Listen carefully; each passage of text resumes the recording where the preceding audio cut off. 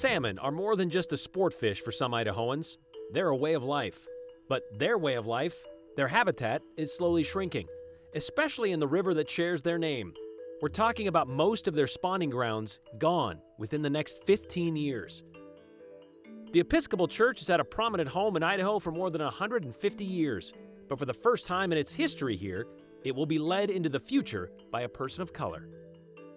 You know, we've had a pretty good run with cyclists who started their riding journey here in Boise. Well, this one started at 7. Now about to be 23, he's about to make his debut in the Tour de France. So, what comes to mind when I say climate change? Maybe giant smokestacks, pollution filtering into the sky, melting glaciers, maybe simply picture Al Gore. When talking about climate change, I imagine many of you do not think about the beautiful scenes of central Idaho. New research from the University of Idaho indicates climate change is impacting our own backyard. It's impacting something very close to Idahoans, something that's iconic, an iconic part of our state's history and a major factor in everyday life the salmon. And yes, they are at risk. Here's Joe Paris.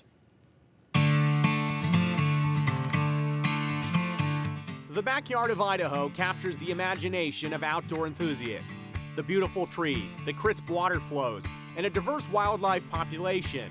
Places like the Boise National Forest are picture perfect for summer activities, but they're also prime locations for research projects. It is actually. I'm very excited and uh, very happy to be part of this field because we are studying uh, how the physical environment impact uh, the ecosystems. Dr. Daniele Tonina is a professor and researcher at the University of Idaho in the Center for Ecohydraulics Research. Dr. Tonina is a part of a research team that just published findings about the impact of climate change in salmon habitats in Idaho. What uh, we really wanted to understand is uh, how much this climate change impact uh, the habitat of salmon. The research looked at Chinook salmon habitats on Bear Valley Creek, a headwater stream on the Salmon River in central Idaho. The team's findings include points that many Idahoans would raise their eyebrows to. What we found out is that um, as the climate is expected to get a little bit drier in our systems, so what we expect is uh, not only the temperature to be warmer of the water, but also the summer volume, uh, the summer volume of the water will be smaller. And that means uh, also smaller volume of habitats in the streams for the salmons for both spawning but also rearing. And these two aspects has been very underappreciated on uh, uh, aspect of climate change on fish habitat. Meaning, as climate change continues to impact Idaho salmon, habitat could be threatened in a significant way. Is equal to a 20% uh, reduction on rearing habitat and another 23% uh, reduction on spawning habitat, which is actually very large compared to what it was in the 1960s. So it's a strong reduction and it will be even stronger when uh, we do projection behind the 24th and we get to 2090. So why should Idahoans care? Well, it's very important for, for all of us, I think. First is because uh, salmonids are such an iconic uh, um, species for, for us, for the Pacific Northwest, and they have been living here for thousands of years. And uh, climate change, if continued pressure to the populations, we might see a decline on uh, uh, the size of this population, which eventually means that uh, fish in them will be extremely limited. And in the most extreme cases or scenarios, we can expect that some of the species, uh, some of population of the species may disappear and um, not having trace any longer. So that's why it's extremely important for us. And as we learned through climate change and extinction, once something's gone, it's gone. Yeah, it's harder to bring it back. And uh, we need to think they have been here for a very long time.